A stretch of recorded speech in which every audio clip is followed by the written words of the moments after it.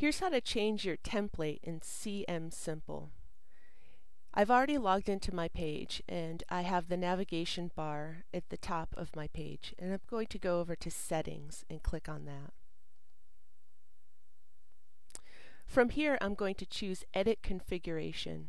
While it might make sense to go to style sheet or template, it's really not going to help you in this case. Just click on edit configuration.